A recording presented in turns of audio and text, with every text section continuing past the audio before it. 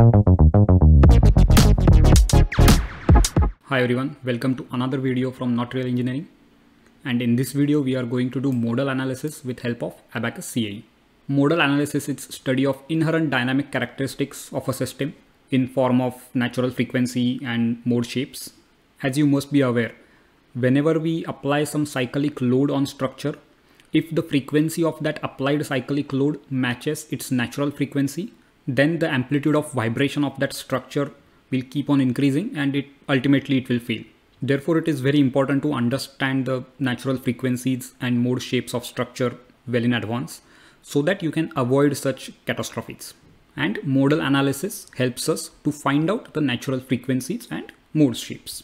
So structural engineers need these natural frequencies because for example, if earthquake happens, earthquake has certain range of frequency Therefore, the structure should be built in a such a way that it should not have any natural frequency in that range. Let's take an example of this Dubai frame. We will find out what are the mode shapes and natural frequencies of this frame. First, let's simplify the model. So this frame can be represented as this. We are going to use beam elements. If you want to know more about beam analysis using Abaqus CAE, please check out this my other video and we will assume the cross section of this frame is rectangular like this. So this is just an assumption to make things easier. I have given all the dimensions and all these dimensions are in meters. We will assume the material of frame to be steel and all the properties of steel are given over here. As this is a dynamic analysis, we will need density as well. And for this example, we will stick with SI units. Let's start with Abaqus CAE. First set up your working directory and then let's model part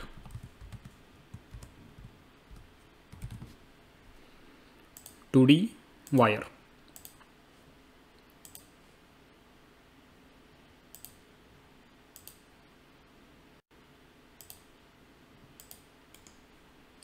And dimensions are this is 150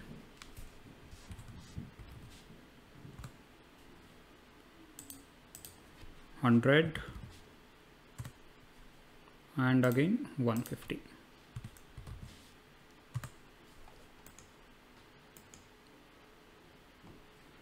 then go to properties create material.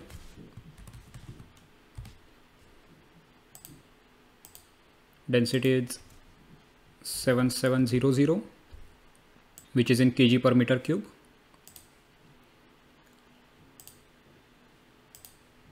Young's modulus is 200 gigapascal. You have to put it in pascal so into 9 and Poisson's ratio is 0.3 then create a section. Now here you have to choose beam section. And when you choose beam section you have to create a profile. Now this profile will be the cross section of beam. So over here go in rectangular continue and you just have to input the a and b. So which is height and width of your cross section. For us it is 5 and 10 so a will be 10 b will be 5 material is selected as steel say ok. Then assign the section for this whole structure. Now for beam we have to assign orientation as well. I will just keep it default orientation whatever it is. You can go to view and part display options and you can select this render beam profile so that you will see if it is applied correctly or not. Yes. Next go to assembly, create an instance, go to step, create a step. Now over here you have to go into linear perturbation step and in linear perturbation select frequency as a step. Say continue here now you have two options. Either you can select a frequency range. That means you will give a specific frequency range and Abaqus will give you back all the natural frequencies in that particular range. Or you can select value and then Abaqus will give you those many natural frequencies. So for example, here if I say 6, the first 6 natural frequencies will be provided by Abaqus. Let's select that at 6 Then we have to apply boundary conditions. So I'm going to fix these two points as our frame is firmly secured on the ground and you can just use this fix all degrees of freedom to zero. Next go to mesh. First you have to switch to part then seed the part maybe 5 just go to mesh and make sure element type is beam. Yes it is. Then mesh the part. Then go to job. Create a job. Dubai frame. And submit it.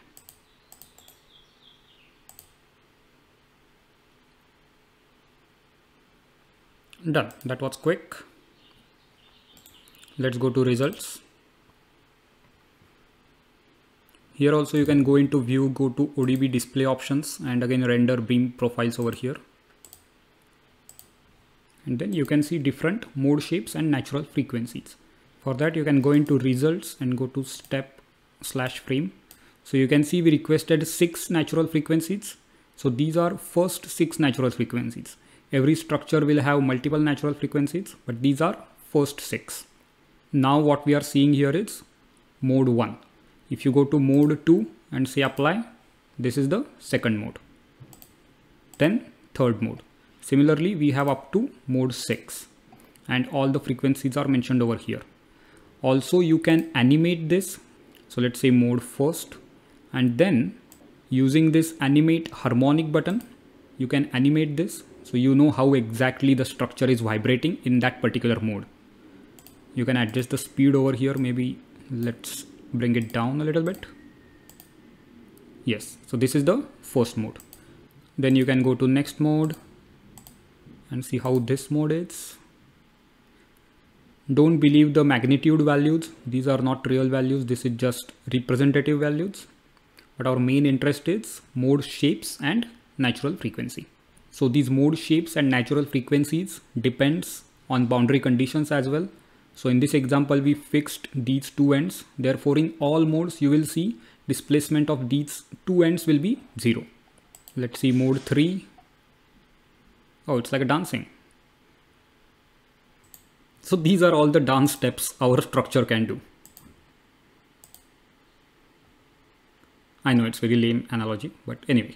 So that's it for this video. If you like this video, please show your support by subscribing to this channel, which will give me motivation to create more educational videos like these. You can also go to channel's playlist tab and here you can see all the videos with similar topics combined together. For example, let's say if you're interested in ANSYS tutorials, you can go to this ANSYS tutorial playlist and see all the videos from this playlist. All the codes and files which I use for these videos are also available for you to directly download from this channel's GitHub profile. The link of this profile is given in the description box below. If you have any questions, please let me know in the comment section below. And as always, thank you for watching.